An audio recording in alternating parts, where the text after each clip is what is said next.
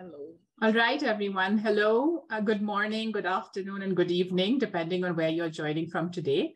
On behalf of the Online Events Committee and the Young Scholars Committee, it is my absolute pleasure to welcome you to the second Feminist Economics 101 event of this season. My name is Muzna Alvi, and I'm a research fellow at the International Food Policy Research Institute, or IFPRI, and I'm based at the South Asia office, which is in New Delhi. Today, I am beyond excited to be hosting Professor Jayati Ghosh to discuss new frontiers in development, international trade, and labor economics, all from a feminist lens. We are hoping that today's event brings together reflections from Jayati's rich career in economics and provides a roadmap uh, for future aspiring young feminist economic scholars. Before I introduce Jayati, let me tell you a bit about the series and the logistics for today. So some house rules. Uh, today's event is part of the new online event series on Feminist Economics 101. Uh, and the series is a continuation of the series that were featured in the 2021 pre-conference by the Young Scholars Committee. IAFFE has greatly expanded its membership of young scholars in recent years, which is very exciting. And we hope that this new season will create an important avenue to explore core concepts and issues and frameworks within feminist economics. Um, and we also want to highlight the methodological differences from mainstream economics through conversations with experts in each field. So each event will feature interviews of senior scholars by young or early career scholars, uh, and I'm really at the border of what yeah, young and early career. Uh, we also hope that these conversations will inform and empower young scholars in their work as they begin or continue their, their journey into economics. If you're interested in previous interviews, you can check them out on the IAFFE website and our YouTube channel. And I also strongly recommend that you stay tuned to IAFFE's social media and websites for additional events. Uh, we have many other events, not just this. We have the Feminist Economics of Global Reproductive Justice event series, and also several fireside chats that you can join. So a bit about today's event. The event uh, is a one hour and we recorded and posted on YouTube. So if you do have to leave in between, don't worry, you can catch the entire conversation later. Uh, for the next 30 or so minutes, I will pose questions to Professor Jayati on her expertise in international labor economics and how it relates to feminist economics, followed by a conversation on feminist economics in general. Uh, but we also aim to provide an interactive dialogue with Jayati by including Q&A uh, session after the interview. So while you you're listening in, feel free to put in your questions in the chat or when we open for questions, you can use the raise hand function, unmute yourself and ask the question. Uh, Yazgi will help me moderate those questions that are coming in through the chat. And lastly, this is a Zoom call, not a webinar. Uh, so a kind reminder to please keep yourself muted throughout the event unless you're asking a question at the Q&A section. So with no further delay, it is my absolute honor to introduce today's senior scholar and my MPhil advisor and my dear teacher, Jayati Ghosh. Uh, Jayati taught economics at Jawaharlal Nehru University, New Delhi for nearly 35 years. And since January of 2021, she has been a professor of economics at the University of Massachusetts Amherst. She has authored and edited more than 20 books and more than 200 scholarly articles. And some of her recent books include uh, The Making of a Catastrophe, COVID-19 and the Indian Economy, Women Workers in the Informal Economy, Women's Work in Globalizing India, among many others. She's been widely recognized for her work and has been awarded several prizes, including the ILO's Decent Work uh, Research Prize in 2015. She has advised governments in India and other countries, including as a chairperson of the Andhra Pradesh Commission on Farmers Welfare and a member of the National Knowledge Commission of India from 2005 to 2009. She uh, was the executive secretary of the International Development Economics Association, which is an international network of heterodox development economists uh, for nearly 20 years from 2002 to 2021. Uh, in, uh, in 2021, she was appointed to the WHO Council on the Economics of Health for All. And in March of last year, uh, she was appointed the UN Secretary General's High Level Advisory Board on Effective Multilateralism. And we're going to touch on some of those uh, questions today. Um, and the, the mandate of this High Level Advisory Board is to provide a vision for international cooperation to deal with current and future challenges. She also writes regularly for popular media, including newspapers, journals, and blogs. And she's a social media star. And so I think most of you already follow her on Twitter, but if you don't, you should absolutely go and do that right away. So before much ado, uh, let me start by welcoming Jayati. Thank you so much for taking our time to, to chat with us and to share your knowledge. Uh, and I want to sort of quickly get in. Uh, the idea for the next 30 or so minutes is to uh, talk about you know your work and your career and i've framed a couple of questions that i'm hoping can guide our, our mm. conversation So just to start off, you know, it, I was wondering if you could reflect on your journey through economics. Uh, as the discipline has evolved over the last few decades, how has your own thinking on economics evolved over your career? Well, thank you, Muzna. And let me also first express how happy I am to be here, especially to be interviewed by you and as part of this Young Scholars uh, involvement in IAFFE. I have to tell you that the Young Scholars are the best thing that has happened to IAFFE in a very long time. You are all so energetic, you're so committed, and you have so many new and fresh ideas that it has really livened up the whole organization. It's it made all of us feel young so you know thank you all for doing this. I think it's terrific and i'm, I'm really happy to be able to uh, be part of this with you. So having said that you know it's really weird my relationship with economics because i actually started studying sociology. And i studied sociology because i was interested in society and social processes and change and, and all of that. But I, during my undergraduate degree as you know we have these undergraduate honors degrees so my honors was in sociology, and I kept thinking, I kept feeling that actually this is skimming the surface, that you know the real stuff is happening in the economy and the society is expressing that. So I actually switched to economics for my graduate degree, and I continued doing economics then for the rest of my time. And I was lucky because I joined JNU at a time when there were some really amazing professors, you know, Krishna Bharadwaj, and uh, Amit Bhaduri, Prabhat Patnaik, Utsa Patnaik, Sunanda Sen, Sheila Bhalla. They were really all amazing scholars in their own right who made economics seem incredibly relevant, topical, necessary, important. But I have to say, now over many decades of doing the subject, I've kind of come full circle. I've realized that you cannot understand the economy without understanding society. And so a lot of economists have failed in that, you know, and a lot of economics as a discipline has failed in that. So in a way, I'm kind of going uh, against the idea that you have to be within that discipline. I think to, to, to do that discipline properly, to understand the economy properly, you really need to bring in many, many more different uh, perspectives and disciplinary insights.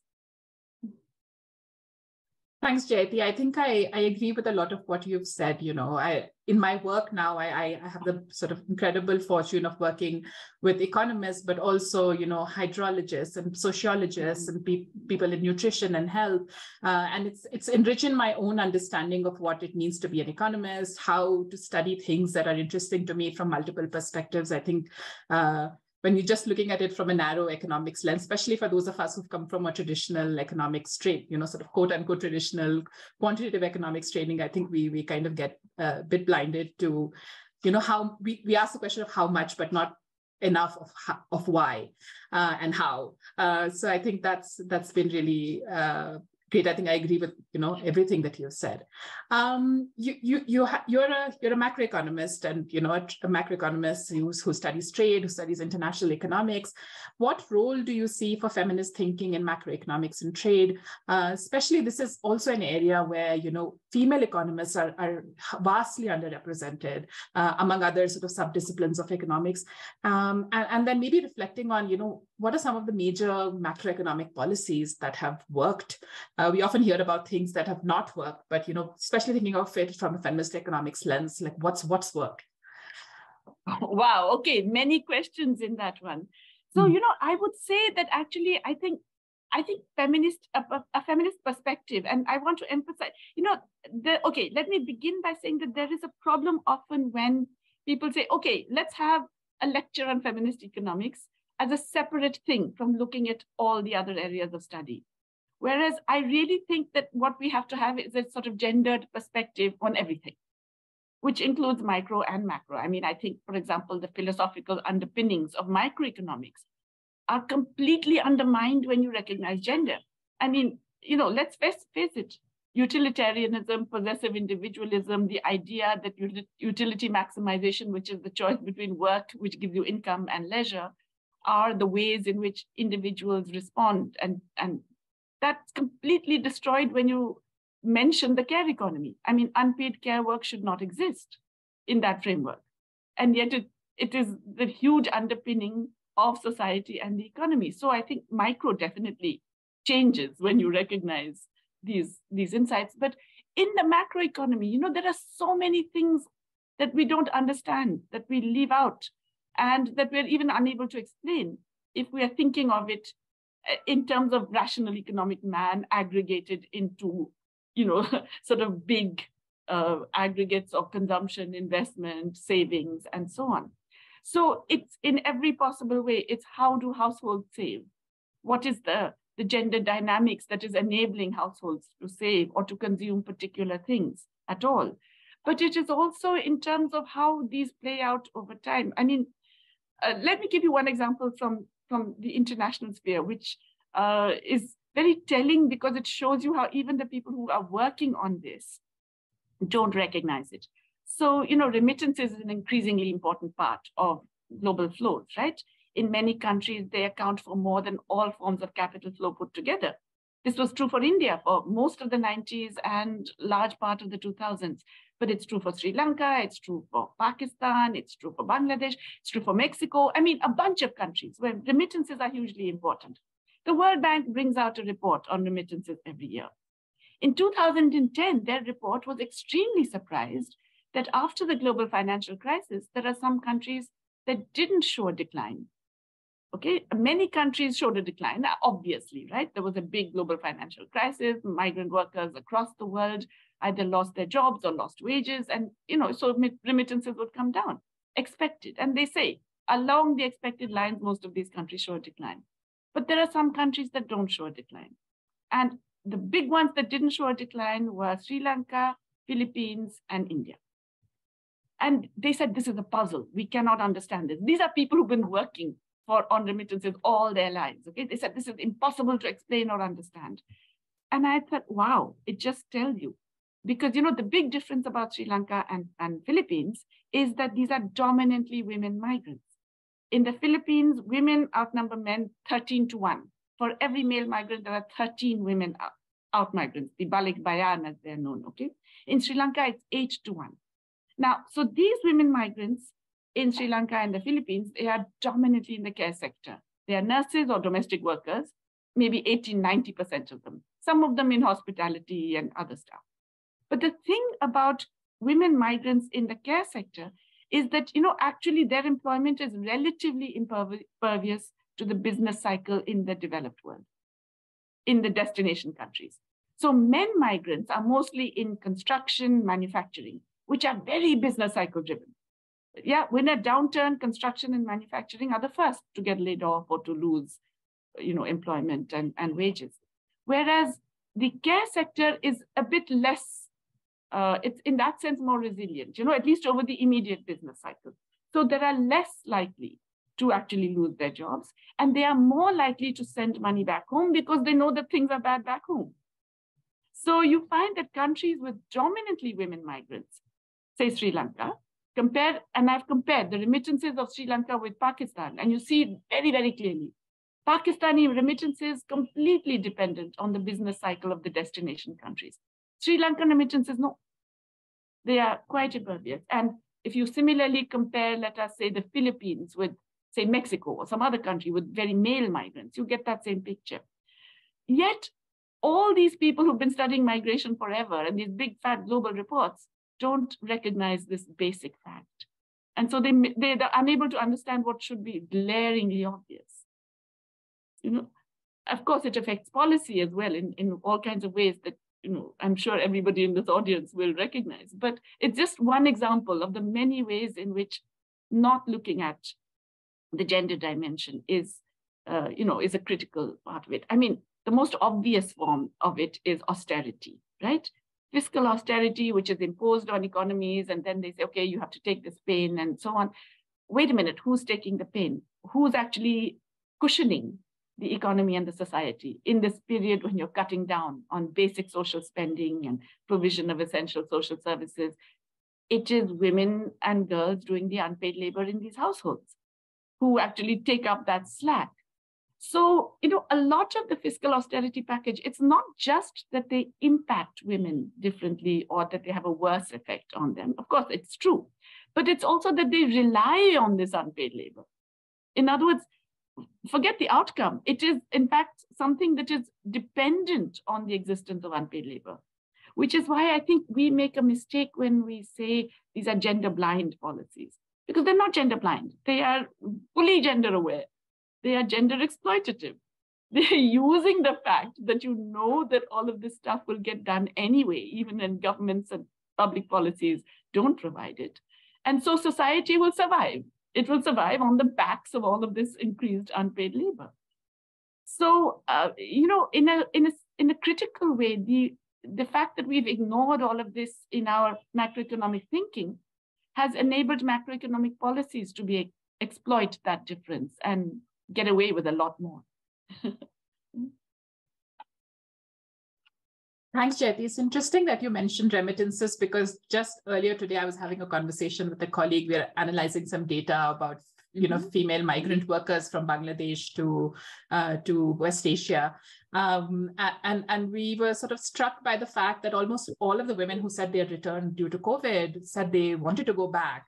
Uh, mm-hmm. and you know, as we sort of digging in, started digging into the data a little bit, and also spoke to our colleagues who are based in in Lebanon, mm-hmm. uh, and they said that you know, and what you said about, you know, being care workers, they said a lot of women, first of all, could not go because their passports are with their employers. And so they, mm. even if they wanted to go, they could not go. But a lot of these women are contributing almost entirely to their household expenses. Like there is no one back home who can support the household. So the moment they come back, regardless of whether they've had uh, a negative migration experience, an exploitative migration experience, they're all keen to go back. I mean, because no jobs at home yeah. uh, and you know a, a guarantee of, of, at least some kind of, of, of income that can be sent back home so um, yeah this really touches close to home and, and, and to the work that yeah. we're doing um, another thing you touched upon I, I, guess, well, some people argue that that gender research in economics is different from feminist research. So what differences do you see? Because there is now a lot of work that is happening on, you know, looking at differences between men and women and how they respond at both at the macroeconomics level, at, at you know, uh, at the microeconomics level on, you know, you could look at behavioral hmm. outcomes, you can look at spending, etc. Uh, but, but is gender economics different or gender research in economics different from a feminist perspective in economics research? Uh, and, and what differences do you see, especially in the context of development and labor? So yeah, I know there's a lot of behavioral economic stuff on you know different responses by gender and so on. Uh, I, I mean, uh, okay, uh, let me admit that I'm not a huge fan of those, especially the experimental stuff, because you know I really don't. I mean, human behavior is so complex. I will behave differently depending on the time of day forget, you know, and whether or not I've had a fight with someone just before or, you know, somebody else has been very nice to me. So it, it's so dependent on context, on your social position, which is, includes gender, of course, but it also includes a whole range of other things. As we all know, we are we are multiple identities. So I'm I'm a little wary of, uh, you know, the, the, the experimental behavioral stuff that suggests that you can identify how people behave in a certain context and then generalize it to wider, more general contexts. Um, having said that, do I think there's a difference between gender economics of gender and feminist economics? Well, let me put it this way. The minute you say feminist economics, it's seen as a threat. Okay. Whereas people will allow gender economics, economics of gender. In fact, there are places in universities in India which will now allow a course on the economics of gender, but not allow a course on feminist economics. And to me, that says something. It suggests that maybe we're doing something right if we're saying feminist economics, because what are we threatening? We are threatening the very basis, the foundations of what passes for economic knowledge. Uh, that's a good thing. I think it needs to be threatened. I think it it has a lot of flaws, and those flaws have to be picked on, and that's how we can make this subject better. So I personally would would actually opt for sticking with saying that I'm a feminist economist and that I, a lot of what I'm doing is feminist economics because it is taking a different perspective, which doesn't mean necessarily always classifying by gender. You know, it's not always about saying, okay, this is how it affects men, this is how it affects women, or this is the labor market participation of men this is it's much deeper it's actually saying you're going to be looking at this from a lens that recognizes some critical things. And most of all, I would say it recognizes unpaid labor and social reproduction. Because to me, that's at the heart of this issue. And a whole lot of how we organize our economies and societies is about ensuring that that unpaid labor keeps happening. I mean, that's what patriarchy is all about, finally. So recognizing that and bringing that to the forefront does something that just a you know a, a, a straight, shall we say, economics of gender doesn't necessarily do. And of course, once you do the unpaid labor, then that impacts on labor markets. And so you get segmented labor markets, which are segmented by gender, but also by other social categories. And um, certainly by, you know, by caste in India, we know by religion, by race, by ethnicity, by language, by location, many ways to segment labor markets. Gender, of course, being a very cross-cutting one. But here I also want to recognize that uh, for me, a, a good feminist economics also recognizes the other forms of segmentation, which can include, for example, you know, sexual orientation or um, uh, transgender and, and, you know, other kinds of ways of discrimination and exclusion. So I guess for me, feminist economics is, is a bit like, you know, what I would have earlier called myself a socialist, right? I still do. But I'm saying for me, you know, the economics of socialism is not about a very simplistic notion of equality. It's much more about recognizing beyond just distributive inequality, it's about recognizing relational inequality, which is all about power imbalances, the ability of, a, of an individual or a group to control the actions of another individual or group. And so for me, being a feminist is recognizing all of that. So that's why I would like to hold on to the, the feminist economics tag. I, I think that's important.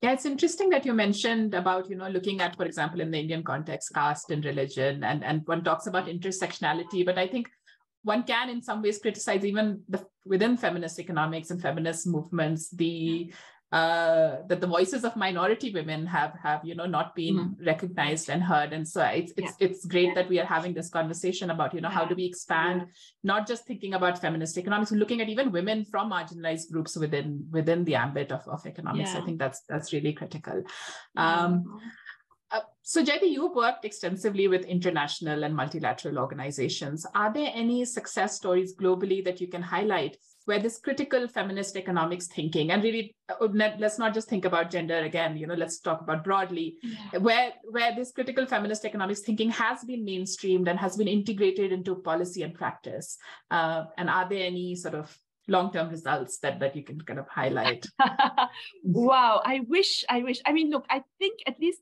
among international organizations yes there's been progress you know there's been more change has it permeated to national levels? Again, you know, so mm. much hmm. depends on domestic politics, political economy, the strength mm. of particular movements, the kind of pushback you get, all of that. What success? Okay, there's one thing I am, yeah, I'm I won't I won't say the battle is won, but I'm I'm kind of proud that we we shifted the discussion a little bit. Okay. And so this mm. is related to um, another group that I'm a, a member of, there's a UN a high level advisory board on economic and social affairs, which is headed by the Undersecretary General for Economic and Social Affairs. And uh, this has uh, a bunch of very impressive economists on it. Um, uh, you know, Joe Stiglitz, Jose Antonio Ocampo, a lot, a, a very, very impressive, uh, Jeff Sachs, etc., etc. a lot of very impressive men, but it also has a bunch of noisy women. So Mariana Mazzucato is on it, I'm on it, and you know there are uh, others who are um, capable of making a noise. Now, one of the things that we were asked to look at was, you know, the usefulness of GDP as an indicator. And so some of us actually wrote uh, quite strongly about how it is not a good indicator of human progress. And we put in uh, a, a bunch of reasons why, which we were very happy to see that the Secretary General actually took up. And in, in our common agenda, one of the aspects that he has highlighted is the need to look beyond GDP and to have a set of indicators that would actually provide a better idea of what um, good that you know that what the United Nations itself should be tracking in terms of progress. So you can imagine already you have this the Sustainable Development Goals, right? 17 goals, 172 targets. Everybody's going mad doing all that measurement. So they said, you know, for God's sake, are you just going to just suggest another dashboard with a zillion indicators? So we actually then, um, some of us uh, have suggested, in fact, I had suggested five indicators. Uh, uh, I've actually suggested four indicators. We now have five indicators, which have been proposed by this group and which have come out with, um, with some degree of, shall we say, sanction from the UN.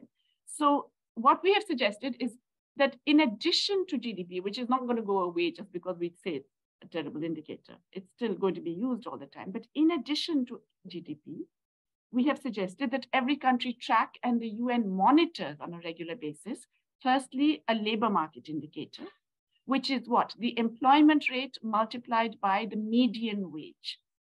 Okay, so why is that useful? Because the employment rate is not the unemployment rate. It's how many workers, how many paid workers in the working age population. That's good because it also tells you how many unpaid workers. In other words, the lower the employment rate, the more likely you have more and more unpaid workers, in addition to the openly unemployed. And the median wage is a much better indicator than the average wage because fully half of your workers are earning less than that.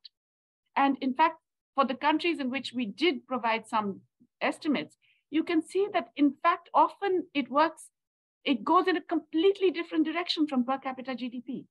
This labor market indicator can be flat, as it is in the US, for example, when per capita GDP is rising. So that's the first. The second we said was time use data. Now, 80 countries are already providing time use surveys. We said just expand this, you know, fund governments to do time use surveys and collect it regularly, annually. And time use data for paid work, unpaid work, and personal and relational time. Just these three categories. So once you do that, that's huge, right? First of all, the gender gaps in time use, but also tracking how much more time use goes into unpaid work will be a really good indicator for the overall status and condition of women over time. So that's the second indicator.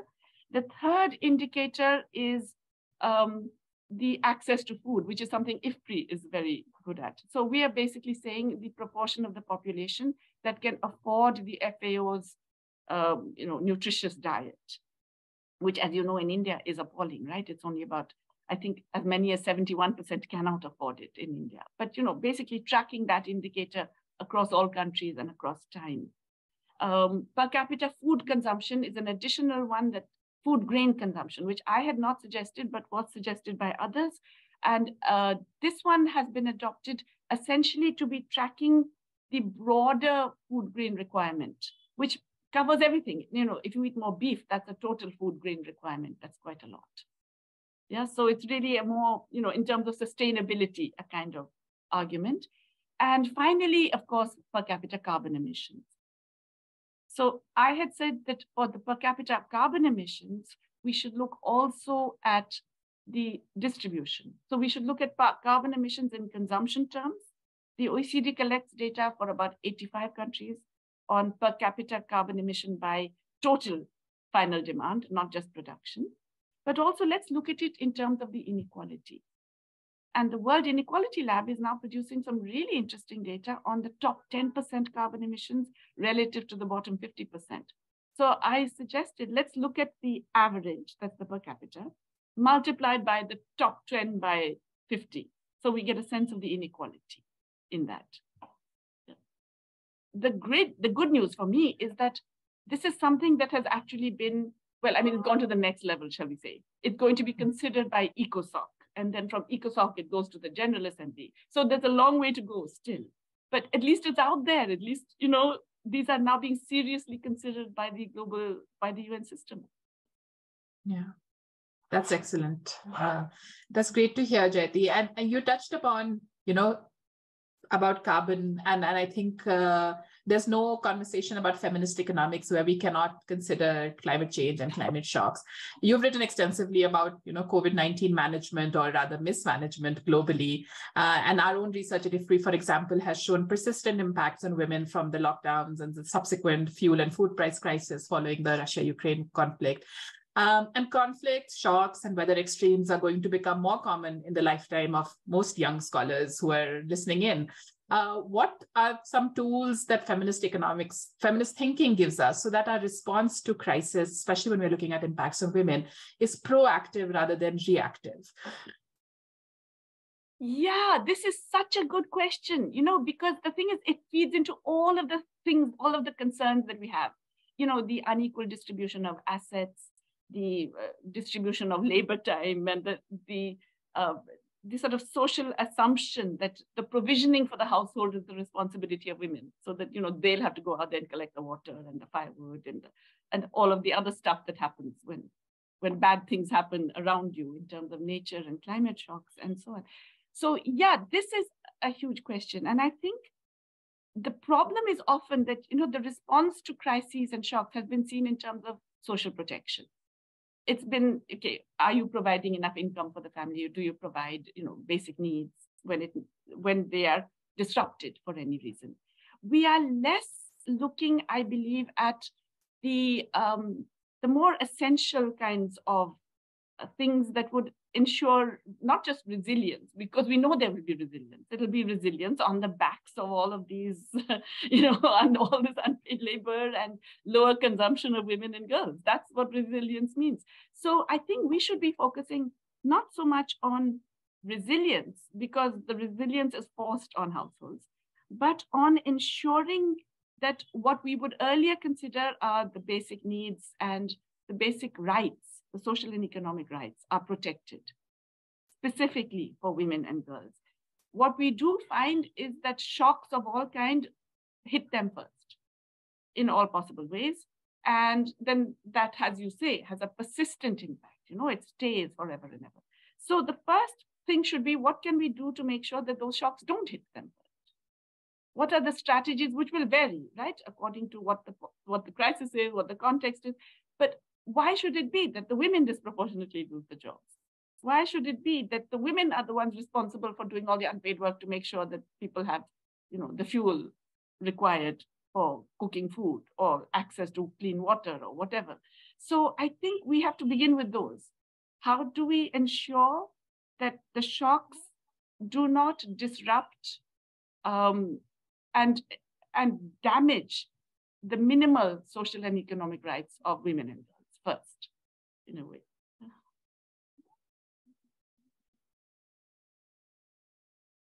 Uh, you're muted, sorry. I think. Yes, no. sorry, I didn't realize I was muted. Yeah. So that brings us to the end of sort of our structured Q&A. Uh, now I'm hoping to have sort of a more free-flowing conversation about feminist economics, about young scholars.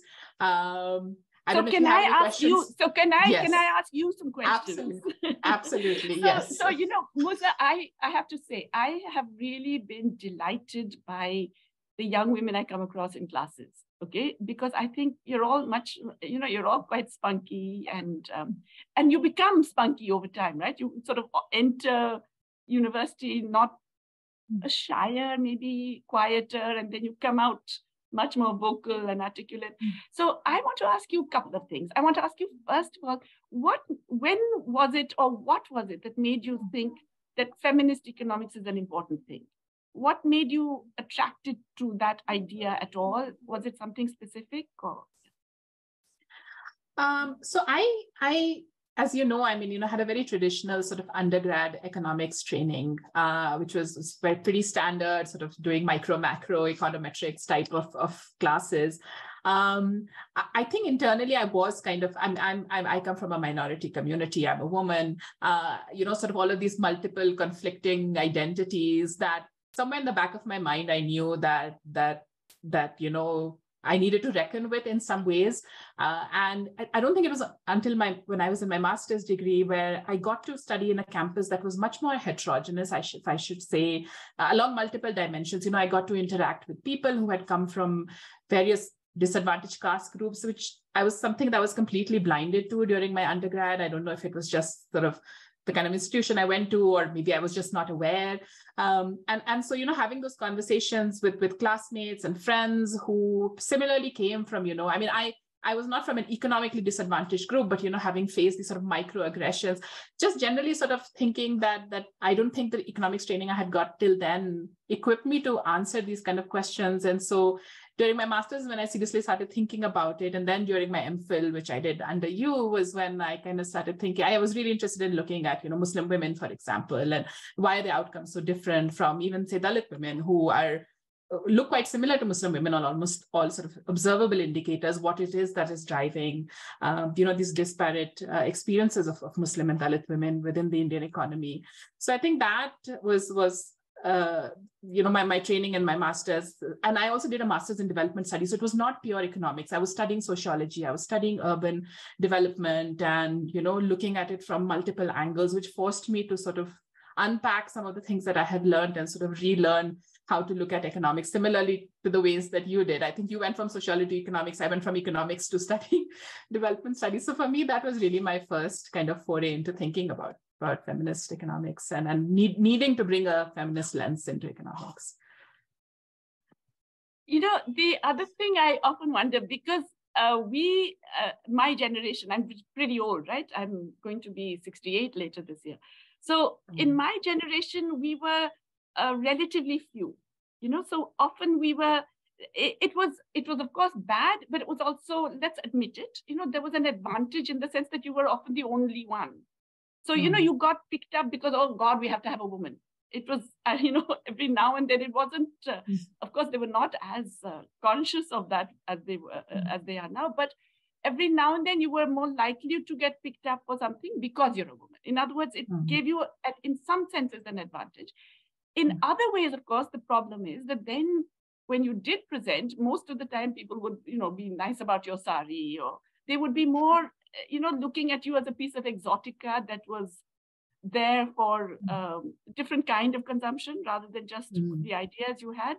Mm. And so it took a long time to break out of that. I think it really happened only when you, when I was much older, really, because mm. I think for a large part of your youth you get treated in that way at least i was and I, i'm wondering how different it's been for your generation has it been different um i think so i think there are very many more of us than than i guess that that you had or the, when i talked to other senior scholars that they had so it's been great to have a community I, mean one of the things i still kind of don't like is that most feminist economics economists still tend to be women. I mean, you go to an IAFFE conference and you'll find maybe one or two stray, uh, you know, uh, men there who who. Uh, you know, and, and I mean, it's great, and we need more allies. But I wish that that there were more men studying feminist economics and you know and by feminist economics i mean generally you know uh, social inclusion in, in general along along multiple dimensions so in some ways um, it's better because we have this sisterhood of feminist economists. You're not the only one who's studying it. You're not the only one who who understands it. Um, so so that's that's definitely been different. I mean, my cohort in my PhD had a, a great fair number of of, of uh, women uh, during my masters. I had a lot of uh, you know cl- classmates who were women, and I went to an all girls college, so it was all just uh, women.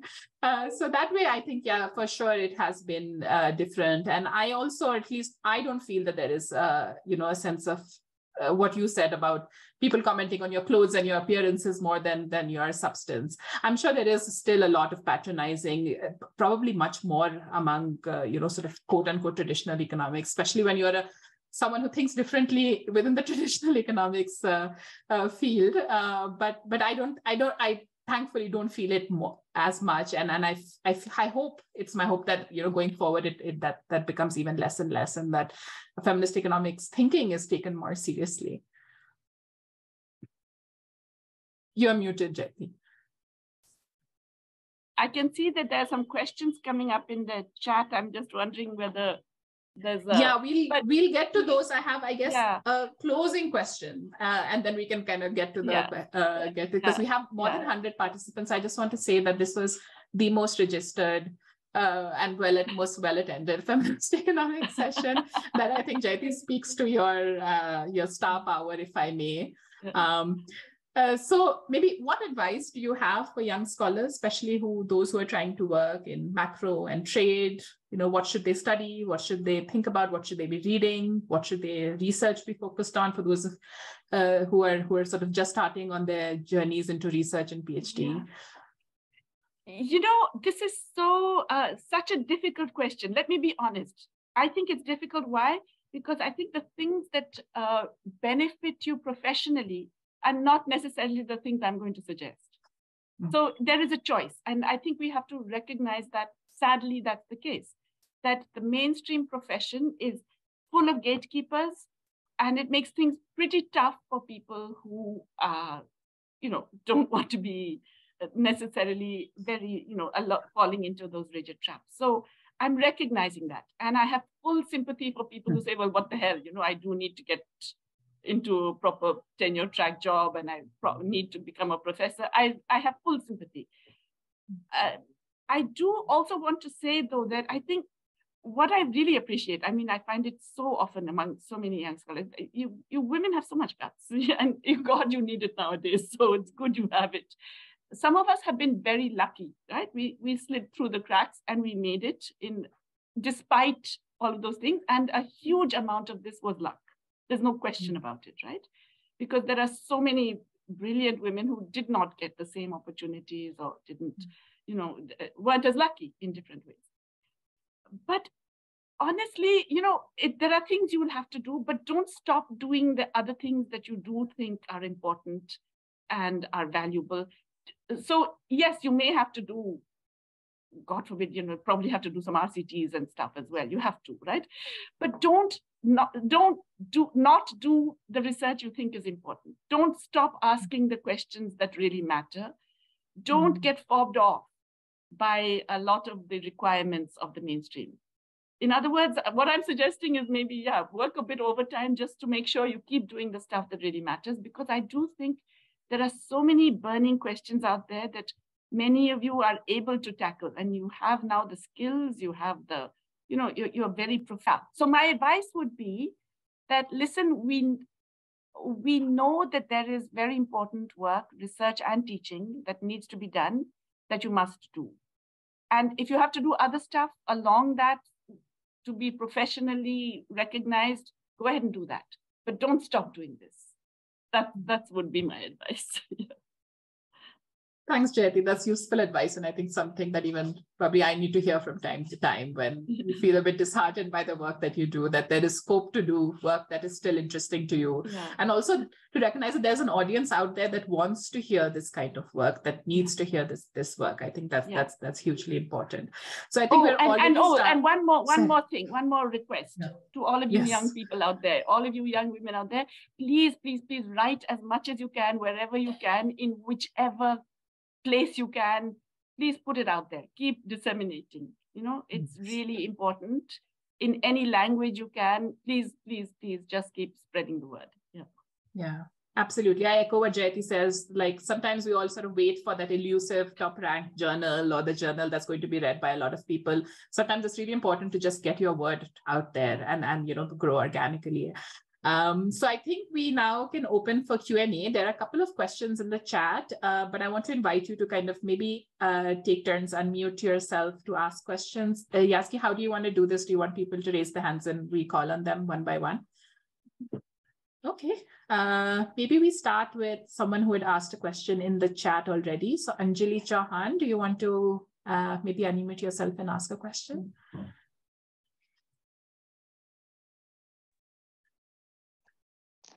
Hello, everyone. Hi, Anjali. Hello, ma'am. I'm greatly delighted, firstly, from the talk, and thank you so much, everyone, for preparing this safe space to discuss such topics. I mean, uh, I'm in the first year of my PhD, and believe me, this was so heartening to hear such things. I mean, I, I was so confused for one year. Uh, I'm working on the intersections of politics and economics and the journey has been very overwhelming since now. So, starting with my question.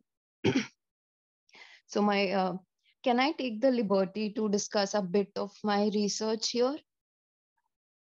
I mean, if you can be really brief, yes, because there are already a couple of people who want to ask questions, but sure.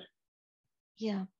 So, to be very brief, the topic of my research is locating autonomy within the neoliberal discourse of women empowerment. So, to be very brief, as neoliberalism, uh, as we all must be knowing, so uh, neoliberalism has been passing out that empowerment is something uh, which can be earned through earning a wage so through con- contractual work and and there is a lot of work which ma'am has already done over that informal labor through informal labor contractualization and home based economy. I'm sorry my throat is not well. Uh, so there's a lot of desourcing and contractualization of work and especially i mean my focus is on garment industries. So with state already receding and market um, taking over the lives of especially the women i mean a part of the care work now their labor in this sort is also being appropriated. And this whole setup is being called the woman empowerment. So um, i am trying to locate the autonomy part of this whole setup and my hypothesis will remain that autonomy is something which decides outside of this uh, the women empowerment aspect of neoliberalism so i am bringing the negative aspects of it. And um, the conclusion i mean this is my working hypothesis that empowerment will be something which comes out of the creative labor of women. So i just wanted to hear what ma'am thinks about it and uh, if she could guide me a bit and provide me her email so that I can discuss uh, my uh, research idea or something to her whenever she has some time. Anjali, I would be very happy to discuss it with you separately sometime, so do get in touch. But you know, I I personally think empowerment is such a complex thing. It's you know, Naila Kabeer has done work on this as well. That yes it, it's yeah. horrible conditions it's bad etc but it still empowers within a household because of the way society is constructed unfortunately they value money they value you know and even the sometimes just getting out of the house is a source of empowerment it's mobility is a you know so it's very complicated i won't say it's always good definitely not and whenever we're looking at women's employment we have to be looking at the conditions the wages and you know uh, that occur, the uh, whether or not there's any availability for taking over some of the domestic tasks which the women still have to perform, and all of that. We have to look at all of that. But you know, to say that it would only come from creative labor, that's because it's not it's not binary. It's not you know you're disempowered or empowered. It's a very complicated sort of trajectory, and you can be at different parts of that trajectory and certain things can make a difference even when they have downsides you know even i mean garment workers in bangladesh it's been seen yes terrible conditions i mean come on rana plaza you know uh, but ask those women it's not only the money. It is the fact that that money gives them a different agency in some ways you know? So it's it's very complex. I i don't know if we can make it very rigid that it would only happen through this way or that. But I do take your point completely that the standard neoliberal response, which is, you know, the Davos World Economic Forum thing that, oh, we should get women in because we're losing so much GDP by not having women in the workforce. And, and that's the only means to empowerment. That's no, no, no good either. I, I completely take that point.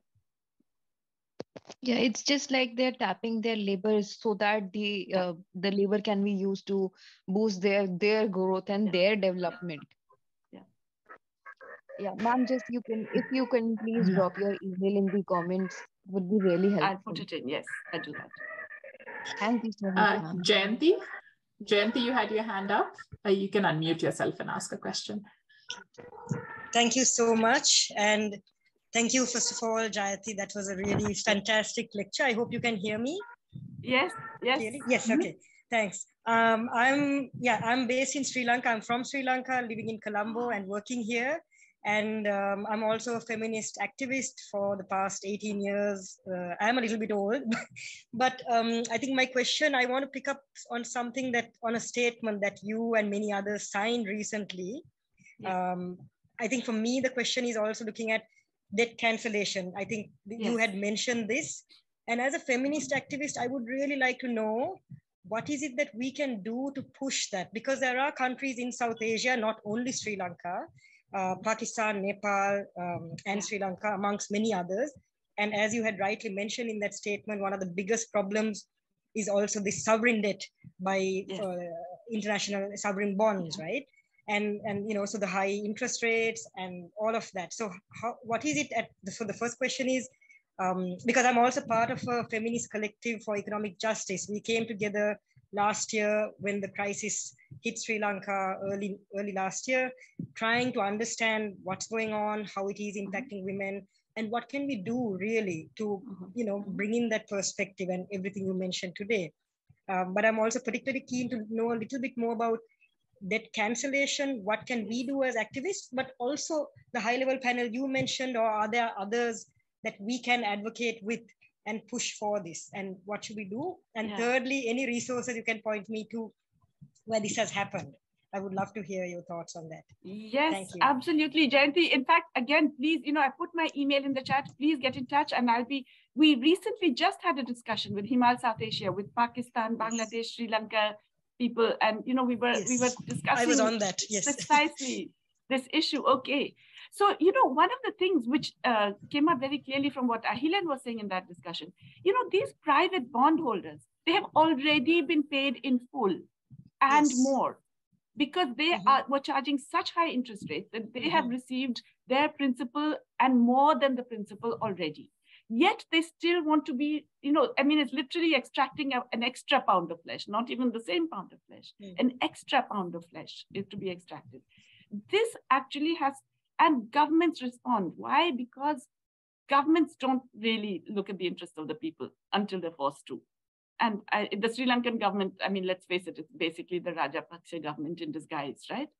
Uh, you have to force them. It's not going to happen on its own. And you have to say, look, debt cancellation is happening all the time in private credit markets. In the United States, in London, in India, large corporates are getting debt canceled on a daily basis like in India, you know, huge amounts of private debt, corporate debt gets cancelled every year very quietly, not mentioned in the newspapers. When a farmer, when farmers' debt get cancelled, it's all over the front pages and everybody is saying, oh, how terrible. When it's government debt, they say, no, no, no way we can cancel that. We can postpone the payment, but you have to pay. You have to pay the whole. This is nonsense. All credit markets allow for restructuring. That's the way credit markets work. So, you know, the notion that it's only in sovereign debt that you have to pay the full amount is absolutely ridiculous. Number one. Number two is that, in fact, many of these bondholders, as I said, charged much, much higher rates of interest because it's risky, because Sri Lanka debt is not safe like US debt, apparently, right? So they took a higher margin of interest, and that's why they've already been repaid in full in terms of the interest payments, right? You can't have it both ways. You can't say, I'm going to charge you a higher interest rate because you're risky. And then when the risk happens, you say, no, no, no, I won't accept any risk. You have to pay me the entire amount. That doesn't work. Okay. That's illogical. So that point has to be driven home. Third point, sovereign debt. We say, oh, you know, never happened. It's always. Germany in 1951 got a debt cancellation in which half of its debt was written off, half, fully half written off, the rest of it was converted into very easy credit or grants so that they could repay only the principal and they could repay the rest of it over a very long time. And one of the conditions of that debt restructuring was that debt repayment will never exceed 3% of export revenues. 3% of export revenues. Imagine if Sri Lanka got a deal like that, you wouldn't have a debt problem, right? Why can't Sri Lanka get a debt like that, a deal like that? Because that was done when, you know, German, West Germany versus East Germany. The rich countries were all trying to make sure Germany was all right. But because of that, Germany could grow out of its debt. It could resolve its debt problems within half a decade and become an industrial powerhouse. Basically, countries are not willing to give debtor countries today that opportunity. It's not that it can't be done. It's a choice that it's not being done. Now, how do we force a change? We, we make so much noise that it becomes impossible to ignore. It's really that. It's all of you have to bring these arguments continuously to the Sri Lankan public so that they can't get away with it. I mean, you have already shown that you can you can achieve a peaceful, you know, handover of power. Now you have to show that you're not going to accept the same nonsense being done by the new people. Yeah. Thank you very much, Jayati. Very, very helpful. And I will email you to get more resources Certainly. around that topic. Yeah. Thanks sure. so much. So we have time for maybe one or two questions, Jayati. I'll, and I'll read them mm-hmm. out there already there in the chat. Um, uh, Paramita asks, mainstream cannot explain unpaid care work. So how do we go about it? Um, and the second question is from Leah, and she says that what are your views on the global North's feminist foreign policies? Do you find them to be performative, neo-colonial, or actual drivers of change? Wow, such huge questions. So, you know, yes, mainstream economics cannot explain fair, uh, care work. Therefore, we dump mainstream economics. I really do think that if I'm trying to understand the economy, I have to use the building blocks that help me to understand it, which means that you have to look at human motivation going beyond the standard, you know, utility maximizing framework that looks at work versus leisure and recognize other drivers of human motivation. But you also have to recognize that it's not always that women are doing things because they derive pleasure for it. In other words, you have to recognize relational inequality and power imbalance. And therefore, you have to look at power as a driving force in economic processes. There is a lot of unpaid labor because men have the power to make women do that unpaid labor. And sometimes it's even internalized. Sometimes we say, well, it's our job. It's we are the ones responsible, and so on. And of course, Nancy Folbre, my colleague at UMass Amherst, has this brilliant thing that, you know, the, the big problem is that you care about those whom you care for. So you're doing this unpaid work, but you care about those people. You're not going to stop doing it because you know the state doesn't provide. You're not going to say, my elderly mother, I'm just going to leave her on the street. Or my lactating child, I mean, my child who needs uh, breast milk, I'm not going to give it because, you know, I'm not paid for it. It will be delivered. That means you lose bargaining power. When you lose bargaining power, society and those in power exploit that. Okay? What we have to do is to recognize that therefore we can only achieve what we have, what we need with solidarity, with working together, with demanding of states as equals, not as, you know, begging, oh, please, you know, please give us this break. So we have to mobilize, we have to associate with one another. We have to work in coalitions with other groups.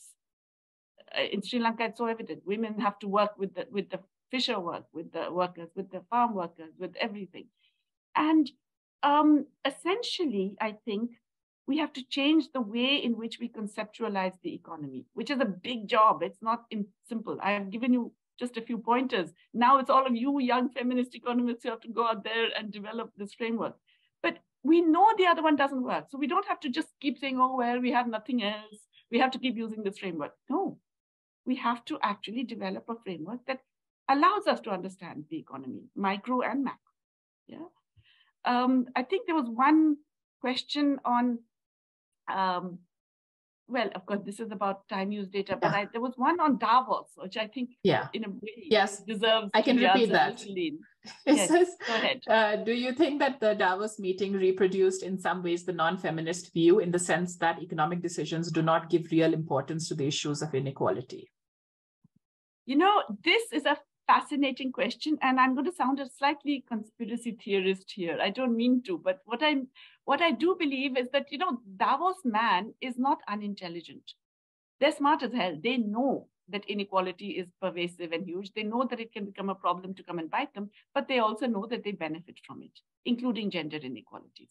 So everything they do and suggest is designed to temper inequalities in a way that would still enable the continued exploitation by the very rich, the very powerful, and the very large capitalists.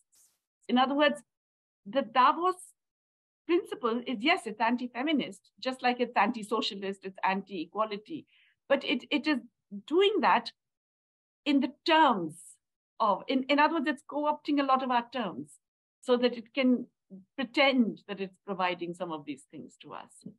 So in a way, it's almost more dangerous than when they come clean, you know, and say, yeah, we're out to get all of you kind of thing. It's it's more dangerous because it's pretending to actually be, uh, you know, it's like capitalism is an octopus incorporating everything. Davos man is an octopus trying to incorporate and take over and thereby control all of the other attempts of women, of workers, of people around the world to ensure their basic social and economic rights.